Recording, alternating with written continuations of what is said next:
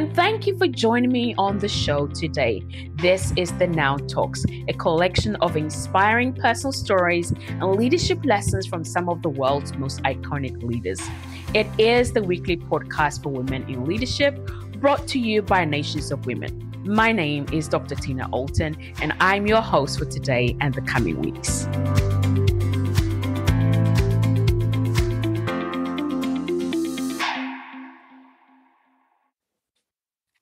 Okay, well, good morning, good afternoon, good evening, wherever you have joined us from today or listening from today in the world. My name is Tina Alton. I am coming to you live from London. And for those who don't know me, I am the CEO and president here at Nations of Women. And tonight I have with me one amazing, extraordinary woman, leader, a sister, a friend, and a confidant of of mine, Dr. Zienzie Dillion, all the way live from New York or New Jersey or anywhere else you want to decide because she she's she's global. So Dr. Z, thank you so much for you know saying yes to join us this uh, today and to just share pieces of your your transformation journey as as an iconic global leader. And uh, but just by way of introduction, because I don't think I would ever do you justice to, to introduce you because you have so many incredible hats you wear and you wear them so well. So just by way of introduction, um, just to tell us a little bit about yourself and you know your journey to to your journey to here as as an iconic leader. Thank you, uh, Dr. Tina, for the invitation it is an honor to, to be part of uh, this conversation. Um, as you have introduced me, I'm uh, Zienzie Dillion. I'm currently the CEO founder of uh, Camel Global Capital, and I'm also a promoter for Avid Bank Project, which is a banking project uh, that uh, uh, we are currently working on. I'm, uh, I'm uh, the uh, Goodwill Ambassador for the African Union Development Agency to the USA. Um, I'm also the on the board for Cassava Holdings, Cassava Smartech Holdings, which is uh, now EcoCash Holdings, listed uh, on the Zimbabwe Stock Exchange. Uh, it is a fintech uh, doing amazing work in Zimbabwe. Uh, I do chair. I do chair the audit committee, and I am the deputy chairperson for the board.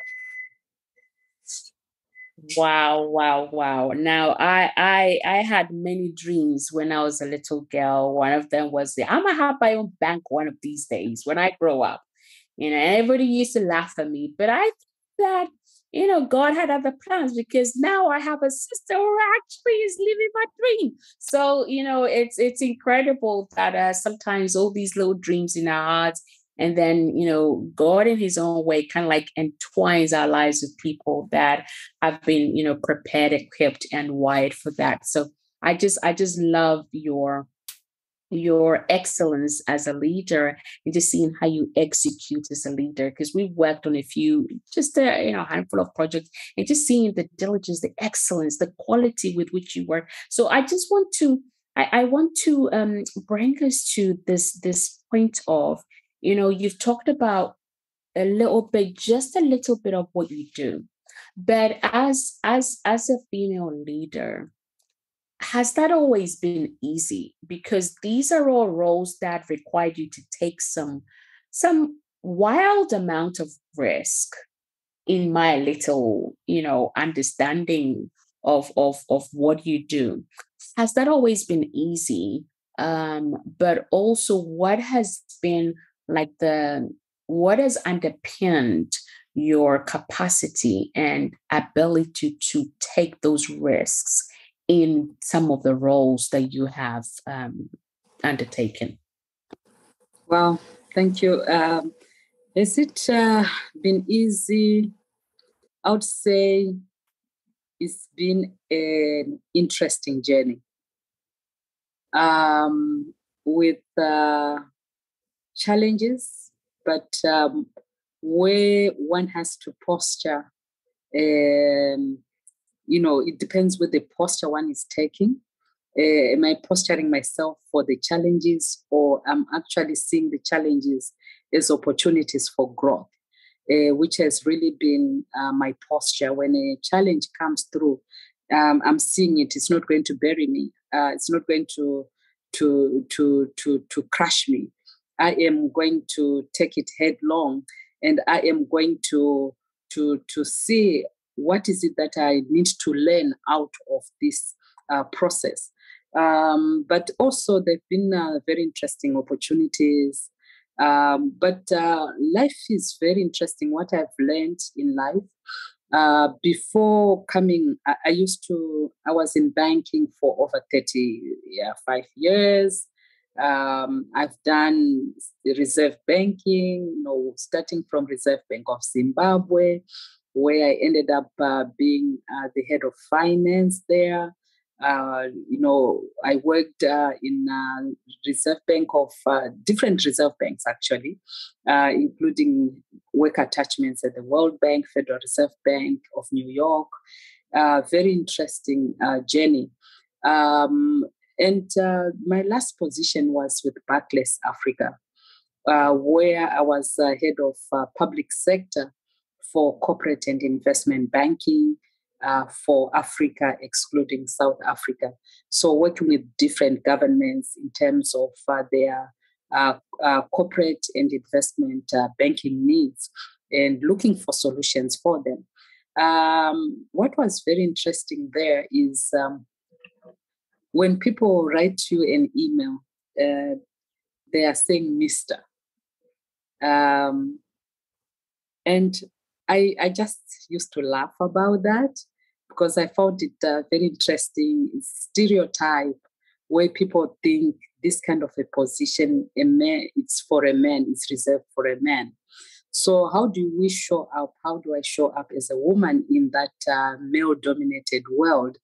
I, is what i saw and what i found to be um, very uh, helpful is to show up as me i must show up as me uh, and when I show up as me, then I am being authentic. Uh, I am be, being me as a leader, me, uh, you know, doing, I'm presenting what I have to present. Uh, if it is in the boardroom, uh, I have to make sure I prepare for the board packs, I prepare for the board meeting. Um, I am clear on uh, what I need to understand and the value that I need to add in that meeting and for that organization. So it's very, very important. And also, for me, what has really driven me very, very well is understanding why am I here and who has sent me here and who am I representing? My faith, very, very clear. I don't put it in the face of people, but my life is to be a living testimony. Uh, people have to read a letter, and uh, the letter that I present is how I present myself. That's the letter that people, so they read the Zienzie letter. and who has authored that letter? So it's really about uh, how do I show myself and uh, represent the God that I serve uh, in a way that gives him honor uh, when people see what I am doing. So I am not doing things for myself, uh, self interest. The days for self interest and self promotion, they are over. It is about uh, doing what I am doing to transform the lives of people if it is if the if the issues on the table if it is in the boardroom. Uh, i've sat on so many boards uh, in zimbabwe in um, in south africa as well. I used to chair the, the audit committee for the public service commission. I used to chair the audit committee for the department of public enterprises all state owned uh, companies in South Africa, they are they were they are actually managed by that department. Uh, it was a huge portfolio, and I recall uh, one of the meetings when we started, when I was appointed as chairperson there. There was a man. There was an issue that I, I had to deal with, dynamics in the boardroom, um, and I I always lean uh, in the spirit of God. That's what I do. How do I deal with this? And uh, of course, wisdom prevailed. And during tea break, uh, one of um, the board members came to me. It was a man. He owned an, an accounting firm, very, very well known. He came to me and he said to me, I didn't know. You, you, it was a confession. I did know that women could do this. Uh, the way you handled that matter, it was, you know, amazing. And all I could say was, we are here, right? We are here. So, but I gave glory to the Lord because it was not my own kind of wisdom, but it was the wisdom that I pulled from the Spirit of God Himself. So there are so many uh, testimonies, so many uh, stories that I can share. But in all that, how do we become who we have been called to? Uh, and what are we doing? If what we are doing is outside what we have been called to and wired for, because everyone is wired for success, everyone is, is created in the image of God whether they know God or not, but they are created in the image of God and in His likeness. So there are no exclusions. It's about how we activate that and uh, how we become and we walk it out without slapping scriptures in people's faces, but living the scriptures and become you know the word that people can read and experience. So that's uh, I, and i'm not saying i'm 100% uh, right all the time. There are times when i fall and when i fall i it's very important to actually acknowledge that hey i was wrong here. Uh, i and i apologize and we move on. And there are certain people that i've worked with before uh, you know in my journey um, you know, it's very important, even as leaders, how we lead people. Uh, are we leading people from a heart love perspective where we you know you you understand we may not fully understand people but uh, you walk the journey with them uh, so to say without discarding them. Some people, they behave the way they behave because they are wounded inside. They have gone through experiences, and it, the way they project themselves, they are projecting the pain that is in them. How do we then make a difference? I'll give you an example. Uh, there was a time when I had a PA I, have had so many uh, personal uh, assistants, executive assistants uh, in my journey. But this particular one, um, I took over this assistant from uh, the office I was taking over. But nobody liked uh, that lady. Uh, she was just nasty to people, not very nice to people. And uh, I had to deal with her. I had she had to work for me. She had to support me. And I just said, Lord, this one I don't know how to deal with this one. you are going to help me with this one. And I took her for lunch just to talk. And I said, you know, there's a reason why we are working together and why we've been brought together.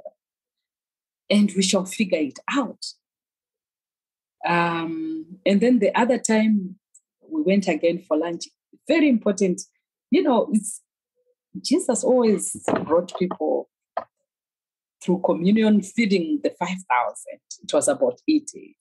Uh, you know, just breaking bread uh, it breaks things. Breaking bread breaks breaks you know the ice. It bre- it breaks through uh, you know to into the into the space or personal space of a person. They open up because there's a connecting place there where you are communing.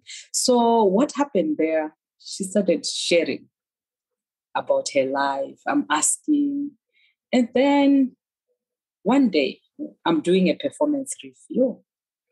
Um, then I said, she she's one, she's the best PA I've ever had.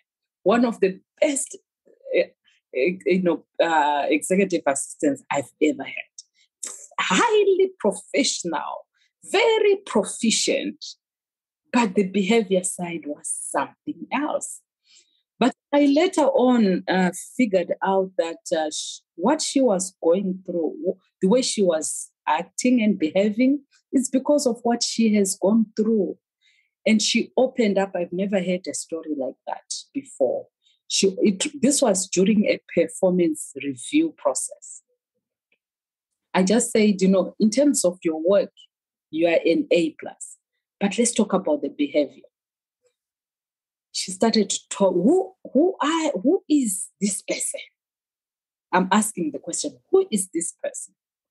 And then opened up, she broke up, she cried, she cried. I had to hug her, you know, and she's just crying, and I am crying, and it was amazing. And long story short, I just said, okay, you pick up your stuff, you can work from home. And um, that was a shift in that person's life, in that woman's life. That was a total shift. And I recall in one of the meetings, um, one of uh, the, the executives said to me, whatever you're putting in her water, continue putting in her water. She changed, she shifted. So I learned that uh, she had been left behind by the boss because she was i think he couldn't handle her and then when he heard that she has changed he came to me. He wants her back. So i said oh okay. You can have her back provided when it comes to this point let me deal with it. Yeah. So that that's uh, that's the story. There are so many uh, stories that i can share but all I know is we are going there in the marketplace. It's a deployment. It's not. Uh, it's not about the money. I would have people calling me headhunters. We have so much. Uh, this company wants to talk to you. Uh, I said I'm not in the market, but you haven't heard about the money. I said it's not about the money. So, being in the marketplace, doing whatever we are doing, if it is about money, you are captured. You are a captured person if it is about money. You are a captured leader if it is about money. It has to be about purpose. Why are you there? Why are you there? Who has sent you there? Is the job done? if this job is not yet done, regardless of how difficult that place is, regardless of how difficult your boss can be, you are there and you have to to weather it, you have to work through it. And in the process, you are growing, and I am growing. I have grown through difficult situations. I, you know, there was a time where I would look forward to the next, you know, test to say, because I knew it was time for promotion. It was time for promotion and not running away from it.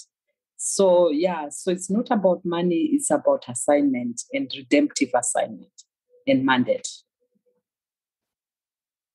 Wow, this is incredible. I mean, you've you've given us so many golden nuggets here, and I'm you know conscious of time as well. But I think we're gonna have to have you another time and really talk about um, the mm. dynamics in the boardroom because I think this is an area that many, many, many female leaders, uh, there's no training. There's no training certainly that I've come across that you know teaches you about the dynamics in the boardroom. You just you just arrive in the boardroom and then you have to you know like figure your way, build your parachutes as you're on the way down. So I definitely would love to have you back to to break that down a bit more for us. But one of the things you talked about is um, show up as you. So could you please help us, you know, in in in the last few minutes we have left, maybe two to three practical practical tips or practical applications that the woman listening or reading can apply, follow, and and begin to show up as who they are because it, it's like how do you how do you do that? I mean i've i've had to grow and every day i'm growing in that area. It's a continuous journey but for the woman that you know it's like stuck. They know that you know i have a i have a a, a wall or something how what are the steps that a woman can take to begin to show up authentically as who they are? Uh, firstly is um, believing in yourself. Um, because the world will only receive you as much as you receive yourself. Ah as the world will only receive you with how you receive yourself. So how i receive myself who am i?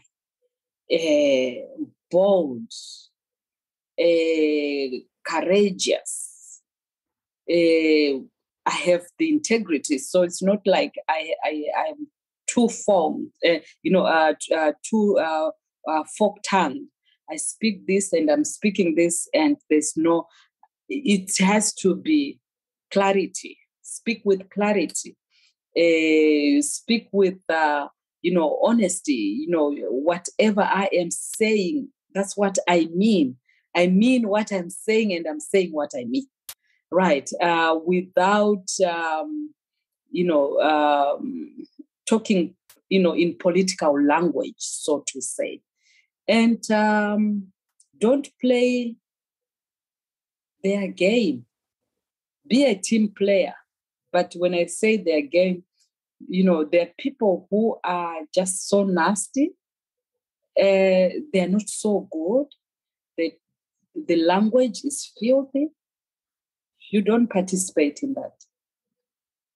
Right. Uh, you, you simply don't participate in that language so we go in there to clean it up. I got to a point where people when they i never said i don't like swear words but when i'm there they'll, they'll say oh i apologize because they don't hear that coming from me. So we go there to clean up. We are sent there to clean up by bringing the light, switching on the lights, right? And we should not, I, you know, just getting overwhelmed with people around the table. Um, I we shouldn't just go there because you deserve that seat. That's why you are there. You deserve that seat and do what that seat demands. That seat requires you to to do what you have to do and just know that you are a proxy from heaven. that that that has kept me grounded. Whatever opinions I have, I am there for the people. I am there to speak for people who are not around the table. I am there to, to represent those who are on the streets if it is banking solutions. How does this change the lives of people? How is this going to change the lives of women and youth? That's, yeah. That's, that's what, uh, and we have to know our assignment. Very, very important. Yes. That is so cool. I really love everything you've shared, particularly, you know, um, I am saying what I mean and I mean what I'm saying. I think that always, always, always is is key. And I think for anyone, you know, irrespective of faith or whatever culture, we all recognize when that is not present. And that mm. when that's not present, it takes away integrity, it impacts your character and impacts so many things. So when you go into when you're in the room, you must, you know, understand why you're in the room and do what that seat requires. This is incredible. So in we have, I mean, we have like 62 seconds left before the batteries all kicks us out. If there's if there's one thing we can learn from your life, and I've been waiting to to ask you this question. If there's one I learn every time from you, if there's one thing that you would want me to learn from your life, what would that be? It's okay to say I don't know. So that we can learn other, otherwise you you are playing on the if not you'll be playing on the narcissistic spectrum. This is so good. So hmm. people you have heard it from dr zienzie Dillion herself. It's like you know the challenges in life um i mean is that i've had an interesting journey. So even the language we use to describe maybe our circumstance, all of those, they all matter. So I don't know what situation you're in right now, but if you're listening, begin to change your word, begin to use your word to shift your atmosphere to shift your situation. And she's also talked to us about, you know, see these challenges or interesting points as opportunities for growth so mm. that you can so that you can grow and you know um, show up as you. That is always always always going to be like your key is show up as who you are understand why you are in the room in the boardroom or in that leadership seat. Who are you representing? And are you actually you know showing up as the person that you have been called and created and designed to be understand the dynamics of the boardroom, right? Have a heart, heart, heart to love people um, as a leader. See the potential in them beyond whatever you know problems or behavior they may be exhibiting. Be able to see, be the leader that has the eyes to see beyond, and um, find find ways to to engage with the people you're leading in a way that makes them feel whole rather than discounting them. And always remember that, you know, if you're a leader who is about the money, you are captured. If you're a leader who's not about the money, then you are a leader who is about purpose. And then finally, we've got here receive yourself. The world would only receive you as much as you receive yourself. Speak with clarity, speak with integrity, speak with, you know, from a place of um, good character. Don't play the games. Mind the language that you, you know, you let come around you. And you, you have been formed for purpose and for greater works. And then finally, the one thing that I I've been so privileged today to learn from your life, Dr. Z, another gold nugget is it's okay to say I don't know.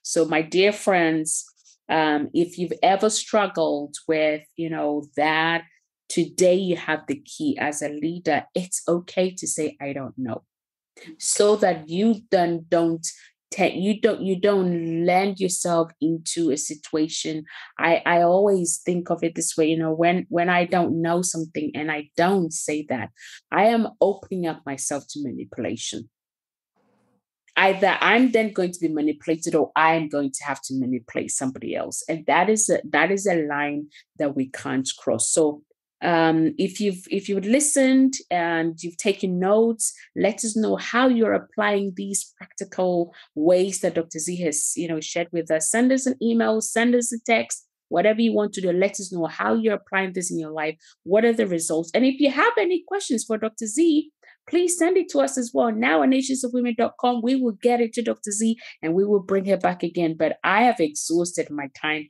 and that is so naughty of me. I am reprimanding myself right now. But Dr. Z, thank you again for the gifts of your time and your, your skills, your expertise, experience, and allowing us to, to receive of, of that from you today. Thank you for the great work you are doing Nations of Women, amazing, amazing mandate, amazing assignment. And together we will make it happen. We will save the world, we will transform the lives of people. Absolutely. Thank, Thank you. you again. Thank you.